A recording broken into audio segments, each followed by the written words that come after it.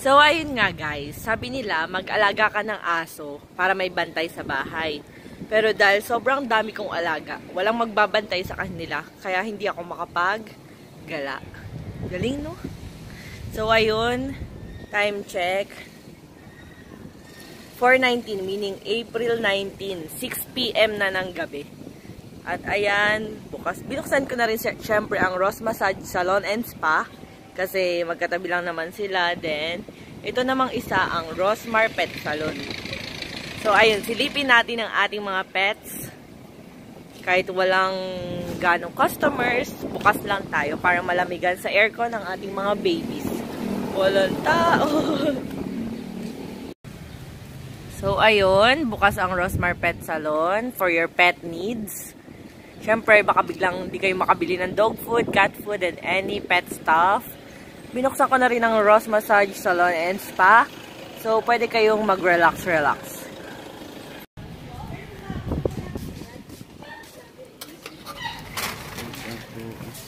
At papasok na tayo sa Rosmar Pet Salon. Yan yung mga bantay, nakahiga. Ito, isa nagsa-cellphone. Ayan, so, nandito yung mga pet needs natin. Like, yung mga kung ano-ano, kung ano-anong ganyan. Yan. Tapos, syempre yung mga pets ko, napunta na muna sa maliit na cage kasi na-occupy ng mga big dogs yung mga big cages. So, giveaway muna, bebe, ha? Pag, pag, uh, Pagkatapos, ayun na ulit yung mga big cage ha. Love, love ko yun eh. Yan si Butchokoy. Tapos, ito naman, pet hotel. Dagi! Arf, arf, arf, arf. Yan, dyan ka lang. Yan. Mga pet hotel. Tapos ito yung mga churva ek-ek na mga pets. Ito naman, yung mga dog food. Yan, ganyan. Tapos, may mga pets pa rin dyan. So, ayun. Yan, mga pets, pets, mga Pomeranian, doggy, kano-kano. Awoo! so, ayun nga, sabi nila, mag-alaga ka daw ng dogs para daw may bantay sa bahay. Pero ngayon, walang magbabantay, kaya ako ang bantay. Ayan o, oh, yan, sila sila, yan. Siyempre, air condition para hindi sila mainitan. So, kaya kahit summer, hindi ko maramdaman kasi ayun, may aircon. Yan. Tapos, gala naman tayo papuntang spa. Ayun naman oh, namamasyal na naman yung bantay. Balik, balik. so, nandito naman tayo ngayon sa Ross Massage Salon and Spa. Ito yung mga services na ino-offered. Dami. Wow, kakalula. Charot. So, ayan, medyo green-green. Papasok kong tayo. Tutur ko kayo. Siyempre, wala masyadong customer kasi nga, mahal na araw. Yan. So, ayun, meron ulit aircon. So, hindi natin ramdam ang summer dito sa Antarctica. Charot. yan. Yan o, yan ang salon. Ayun si Rio Strong. Ha? Yan ang aking hairstylist na galing-galing.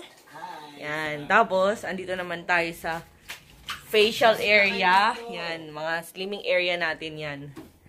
Yan. Tumakbo si Ella. Yun. Tapos ito, meron tayo ditong CR, mga comfort room, mga chorba. Meron din dito tayong wash area. Ito naman medyo design-design, ganyan. Tapos pupunta naman tayo sa massage area. Ah, medyo magulo kasi, syempre, higa-higa muna. Yan, so ito yung massage area. Tingnan natin kung may tao. May tao nga. Ay no. May taon tulog. Ay no. Tambay sila ngayon no. Yan ang mga massage therapies. Yung isa, masyadong inaantok dito sa kabila. Ayan no. Ay no, kita ba?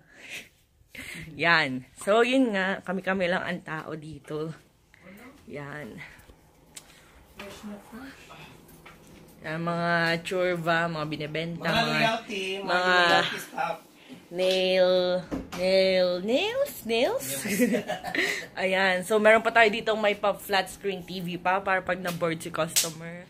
So, Hindi ayun. Mahal na araw. It's Friday. Tapos, ituturo ko naman sa inyo kung nasa inyong restaurant na Rosmar's Cage Restaurant. Siyempre, tinatamad ako maglakad kaya tuturo ko na lang. Ay, yun, dito. Diyan, diyan. Diyan sa building na yan. So, ano lang siya, parang isang kanto away. Goodbye!